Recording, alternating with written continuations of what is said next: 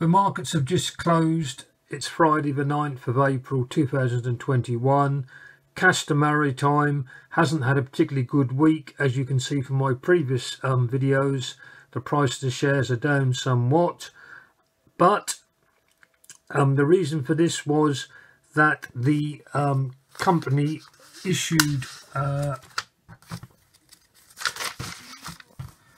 um, 192 million shares to institutional investors at a price of 65 pence or 65 cents which was less than what the um, shares were trading for at the time. So consequently the value of the shares went down. But the idea of this was as far as I can see was was to um, get more cash so they could buy more vessels. And this has been um, uh, played out today where there's an announcement just been made where it says um, Limassol Cyprus the 9th of April 2021 Castor Marine Incorporated um,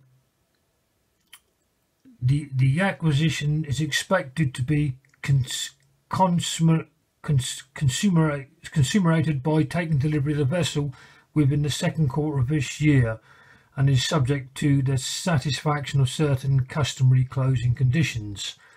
Um, and that, they're um, going to purchase a 2011 Japanese-built Panamax dry bulk carrier from an unaffiliated third party for a purchase price of 18.48 million. So this is where the um, extra raised funds are going. Um, they're buying assets and the assets will go to work and start generating income. So consequently, uh, the, the, the company will grow.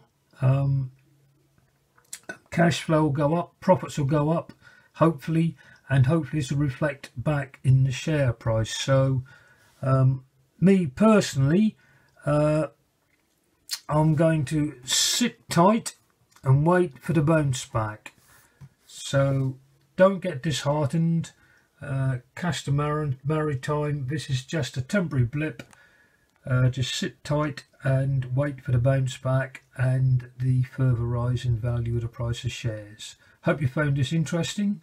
Um, any questions or comments much will be much appreciated and all will receive a reply. Thanks very much and happy investing.